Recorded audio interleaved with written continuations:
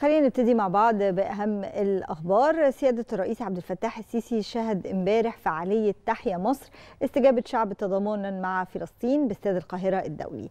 سيادة الرئيس أكد إن معبر رفح لم يغلق ابدا وكان في مغالطات بتزعم إن مصر لا تريد فتح المعبر لكن ده ما حصلش ابدا. سيادة الرئيس عبد الفتاح السيسي أكد بشكل واضح وقاطع على إن تهجير الفلسطينيين بالنسبة لمصر خط أحمر. لن نقبل ولن نسمح به ابدا. تعالوا مع حضراتكم نشوف كلمة سياده الرئيس امبارح. بسم الله الرحمن الرحيم. الحضور الكريم السيدات والسادة شعب مصر العظيم السلام عليكم ورحمة الله وبركاته. إنه لمن دواعي السرور والفخر أن أتواجد في هذا الجمع الكريم من أبناء مصر الذين اجتمعوا من أجل الوطن والقضية. جمعتهم مصر والعروبة. ومن يتمسك بهما فلن يضل ولن يتفرق أبدا. وإن سعادتي تبلغ مداها وأنا أرى الأمل في جمعنا هذا ونحن نسوغ للمستقبل عنوانا ونمهد له طريقا. وكما تعاهدنا وكما تعاهدنا معا بأن تظل وحدة المصريين واصطفافهم هي الضامن لبقاء مصر بعد إرادة الله سبحانه وتعالى. والثابت الذي لا يقبل التغيير ابدا. السيدات والسادة شعب مصر الأبي. تواجه المنطقة العربية أزمة جسيمة تضاف إلى سوابق التحديات التي تعانيها على مدار عقود. كما تواجه القضية الفلسطينية منحنى شديد الخطورة والحساسية في ظل تصعيد غير محسوب وغير إنساني اتخذ منهج العقاب الجماعي وارتكاب المجازر وسيلة لفرض واقع على الأرض يؤدي إلى تصفية القضية وتهجير الشعب والاستيلاء على الأرض. ولم تفرق الطلقات الطائشة بين طفل وامرأة وشيخ. بل دارت آلة القتل بلا عقل يرشدها ولا ضمير يؤنبها فأصبحت وصمة عار على جبين الإنسانية كلها. ومنذ اللحظة الأولى لانفجار شرارة هذه الحرب أدارت الدولة المصرية الموقف بمزيج من الحسم في القرار والمرونة في التحرك والمتابعة الدقيقة لمجريات الأمور. وتحديث المعلومات بشكل موقوت والتواصل المستمر مع كافة الأطراف الفاعلة. وقد تشكلت خلية إدارة الأزمة من كافة مؤسسات الدولة المعنية تابعت عملها بنفسي وعلى مدار الساعة. وقد كان قراري حاسما وهو ذات قرار مصر دولة وشعبا بأن نكون في طليعة المساندين للأشقاء في فلسطين. وفي ريادة العمل من أجلهم ذلك القرار الراسخ في وجدان أمتنا وضميرها. فمصر قد كتب تاريخ كفاحها مقرونا بالتضحيات من أجل القضية الفلسطينية. وامتزج الدم المصري بالدم الفلسطيني على مدار سبعة عقود.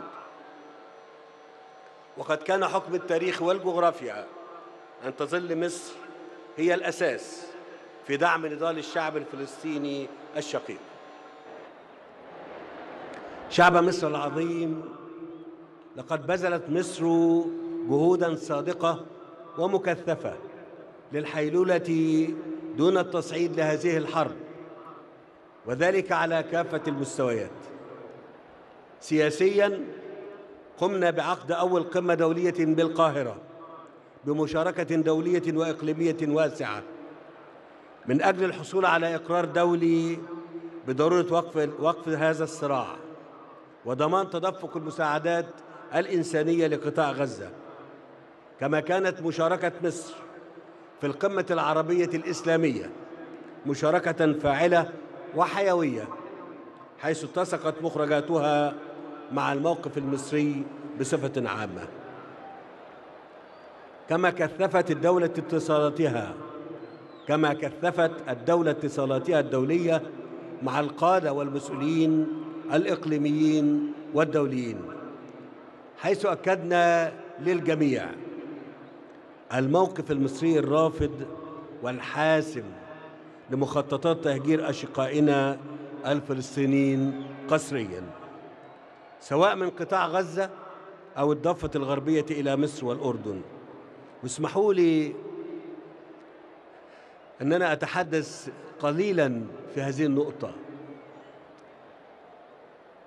إحنا المصريين كلنا كنا دايما لنا موقف متعاطف وإنساني واستقبلنا خلال السنوات الماضية. في أعقاب الصراعات التي حدثت في المنطقة ملايين من الأشقاء الذين تضرروا. ولم نتكلم أبدا ولم نشتكي أبدا ولم نطلب من أحد أبدا أي دعم في هذا الأمر. الأمر اللي أنا بتكلم فيه ده إحنا دايما بنقول إن إحنا عندنا تسع ملايين من الضيوف. يعني ما حدش يقدر يزايد علينا ويقول إن إحنا لما بنقول لن نقبل بتهجير قسري للفلسطينيين ولن نقبل بتصفية القضية الفلسطينية أبدا ما حدش يقدر يقول إن مصر ملهاش مواقف إيجابية ولها مواقف إنسانية نبيلة ورائعة. لكن الأمر مختلف. الأمر اللي أنا بتكلم فيه أمر مختلف. في الأشقاء والضيوف اللي بتكلم عنهم بلادهم موجودة ولكن غير مستقرة وأرضهم موجودة وباقية لهم. لكن الأمر في القطاع وفي الضفة الغربية أمر مختلف. إذا تركها أهلها فلن يعودوا لها مرة أخرى. عشان كده مصر بتقول إن التهجير بالنسبة لنا إحنا خط أحمر خط أحمر. لن نقبل به ولن نسمح به.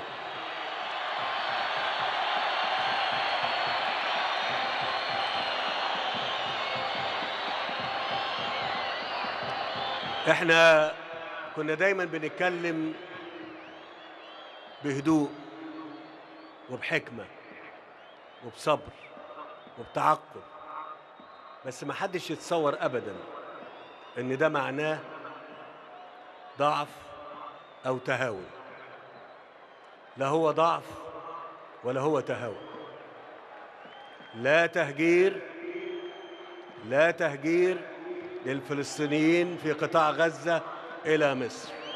ده خط أحمر بالنسبة لنا.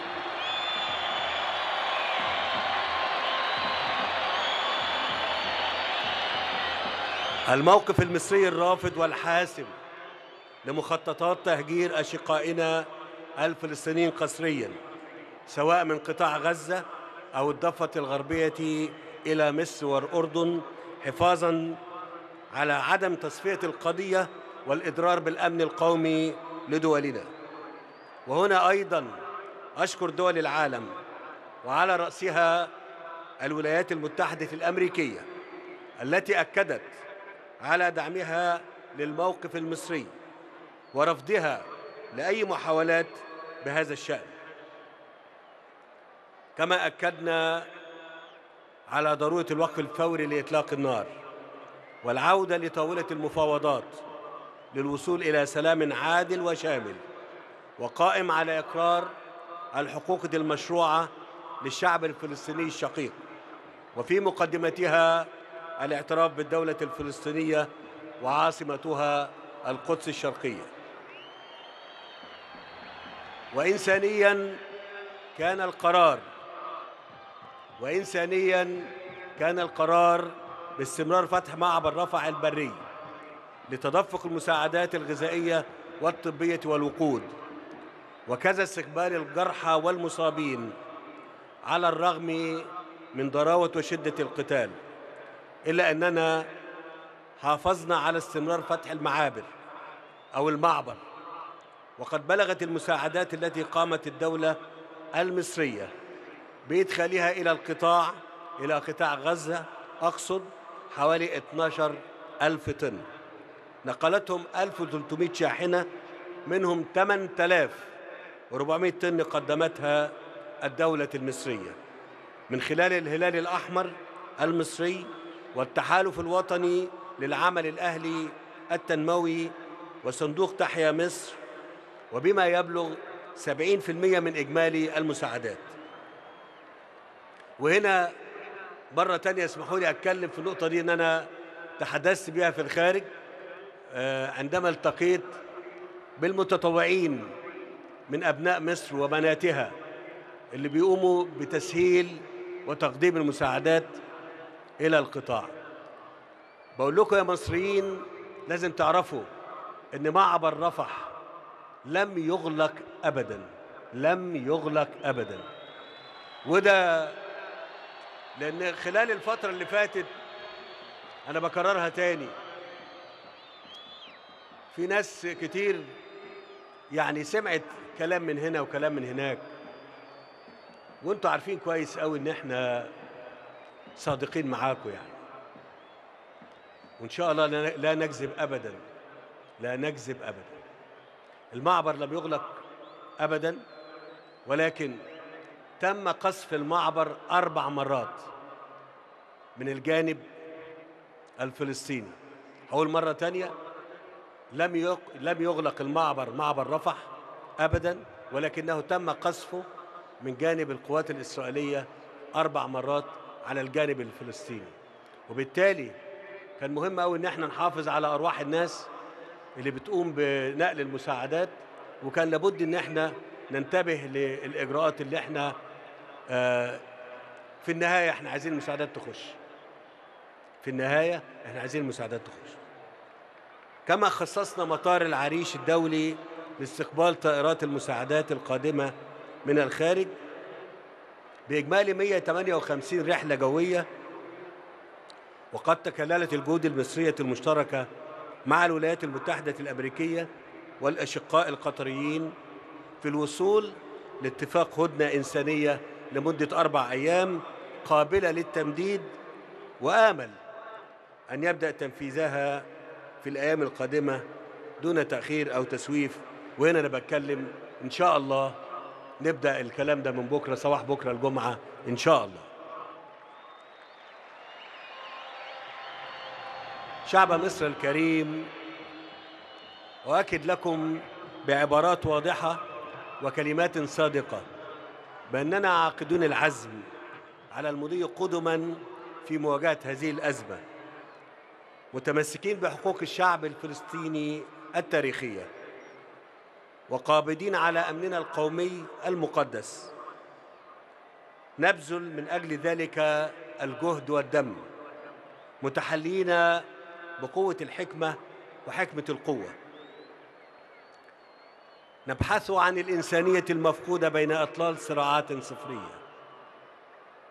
تشعلها أصوات متطرفة تناست أن اسم الله العدل. يجمع البشر من كل لون ودين وجنس وأن السلام هو خيار الإنسانية. ولو ظن أعداؤها غير ذلك ولندعو الله أن يكلل جهودنا من أجل السلام بالنجاح وتضحياتنا من أجل الإنسانية بالتوفيق. مصطفين من أجل الوطن وأمنه تجمعنا القضية وثوابتها. وتحيا مصر وتحيا فلسطين.